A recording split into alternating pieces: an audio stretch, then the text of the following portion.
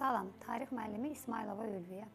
Əziz şagirdlər, biz artıq əvvəlki dərslərimizdə sizinlə Quba xanlığının Azərbaycan torpaqlarını birləşdirmə siyasətinin birinci mərhələsi ilə tanış olmuşuq. İndi isə Quba xanlığının birləşdirmə siyasətinin ikinci mərhələsi ilə tanış olaq. Gəlin görək, bütün Azərbaycan xanlıqlarını dinc yolla birləşdirmək mümkün oldumu? Hansı Azərbaycan xanlıqları Quba xanlığının tabeliyinə keçməkdən imtina etdilər? Dərbənd və Bakı xanlıqlarının birləşməsindən sonra Fətəli xanın məqsədi Şamaxını tabe etmək idi. O, Şamaxını öz dövlətinin paytaxtı etmək istəyirdi. Əlbəttə bunun səbəbi var idi. Belə ki, Şamaxı coğrafi baxımdan əlverişli mövqedə yerləşirdi. Şamaxı xanlığının ərazisi demək olar ki, Azərbaycanın şimal torpaqlarının mərkəzində yerləşirdi.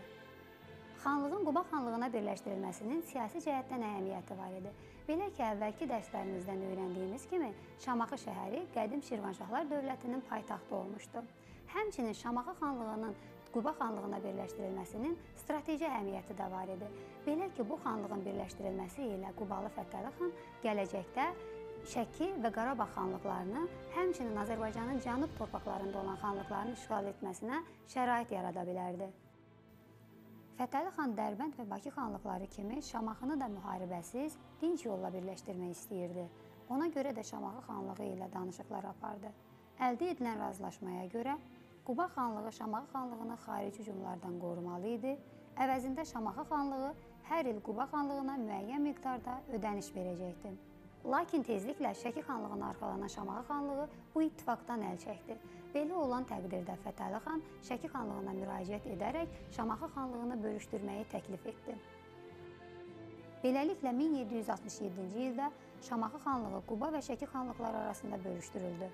Lakin bir il sonra Fətəli xan Şamaxı xanlığını tamamilə Quba xanlığına birləşdirdi.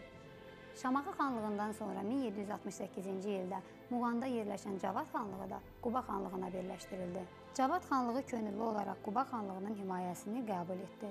Muğan ərazisinin birləşdirilməsi Azərbaycanın cənub torpaqlarına yol açırdı.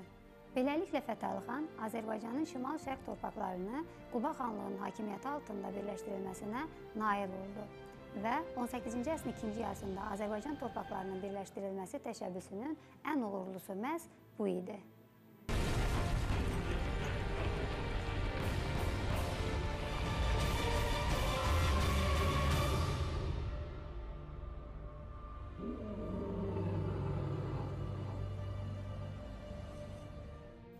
Azərbaycan torpaqlarının Quba xanlığının hakimiyyəti altında birləşdirilməsi mühüm siyasi-iqtisadi əhəmiyyət daşıyırdı.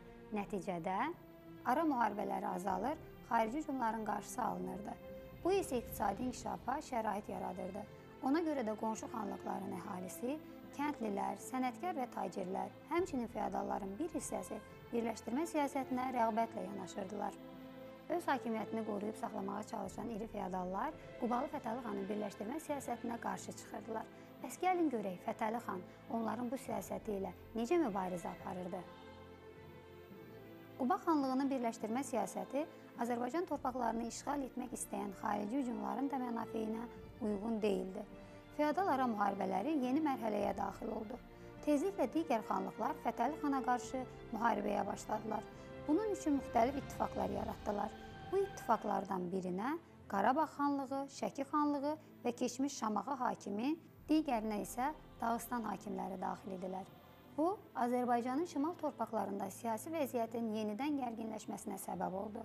Belə vəziyyət isə Azərbaycan torpaqlarını işğal etmək istəyən xarici qüvvələrə əlverişli şərait yaratdı. Bunlardan biri də Cənubi Qafqazda hakimiyyətə can atan Gürcü çarı 2-ci İraqli idi. Lakin Fətəli xana qarşı açıq çıxış etməyə cəsarət etmir, fürsət gözləyirdi. Bu fürsət yarandı. O, Qarabağ və Şəki xanlıqlarının Quba xanlığına qarşı yaranmış ittifaqına daxil oldu. 1774-cü ildə Qaraqaytaq hakimi Əmir Həmzə və Dağıstan hakimləri Quba xanlığı üzərinə hücuma keçdilər. Əmir Həmzə Fətəli xanın qohumu idi. Fətəli xan Əmir Həmzənin bacısı Tuti Bikə ilə evlənmişdi. Xudad yaxınlığında Gavdışan çölündə baş vermiş döyüşdə Fətəli xan məğlub oldu. Əmir Həmzənin başçılıq etdiyi birləşmiş qüvvələr Dərbəndə hücum etdilər. Əmir Həmzə əvvəlcə hiləyə əl atdı. O, Tuti Bikəyə xəbər göndərdi ki, güya döyüşdə həlak olmuş Fətəli xanın cənazəsini gətirmişdir. Lakin Tuti Bike qardaşının bu yalanına inanmadı və Dərbəndin müdafiəsinə başçılıq etməyi öz üzərinə götürərək qala müdafiəçilərinə düşmənə müqavimət göstərməyi əmr etdi. Dərbənd 9 ay qəhrəmancasına müdafiə edildi. Tarixçi Yevgeni Kazubski yazırdı. Tuti Bike şəhəri mərdliklə müdafiə edirdi. O, qala divarları üzərində şir kimi duraraq hər şeyi özü rəhbərlik edirdi.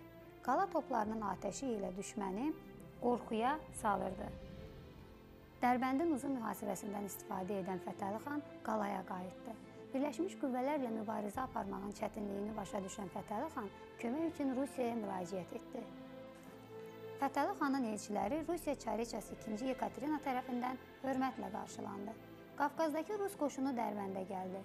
1775-ci ildə Əmir Həmzə Dərbəndi mühasirəsindən əl çəkib rus qoşunları ilə döyüşə girdi və məğlub oldu. Rus qoşunu Dərbəndə daxil oldu. Bundan narazı olan Osmanlı dövləti Rusiyaya etirazını bildirdi. Osmanlı dövləti ilə yenidən müharibə etmək istəməyən Rusiya öz qoşununu geri çəkdi. Fətəli xan diplomatik yolla Qarabağ xanlığını da Quba xanlığına birləşdirməyə çalışırdı. Lakin onun bu niyyəti baş tutmadı.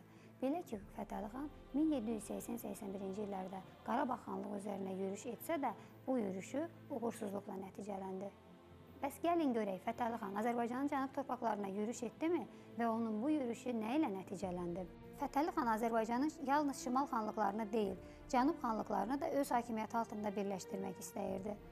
Ona görə də Fətəli xan 1784-cü ildə Azərbaycanın cənub torpaqlarına, Ərdəbil və Meşkinə yürüş etdi. Onun bu yürüşü Dağıstan hakimlərinin və Cənubi Qafqazın digər hakimlərinin narazılığına səbəb oldu.